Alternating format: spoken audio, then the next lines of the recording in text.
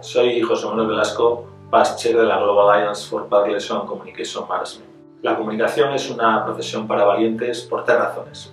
La primera, porque defender la verdad, algo que debería ser de oficio, se ha vuelto más difícil en estos tiempos de posverdad. La segunda es porque tenemos que actuar como la conciencia crítica de las organizaciones, algo que en ocasiones resulta incómodo. Y la tercera es porque como profesión tenemos una responsabilidad social para contribuir a la recuperación de la confianza.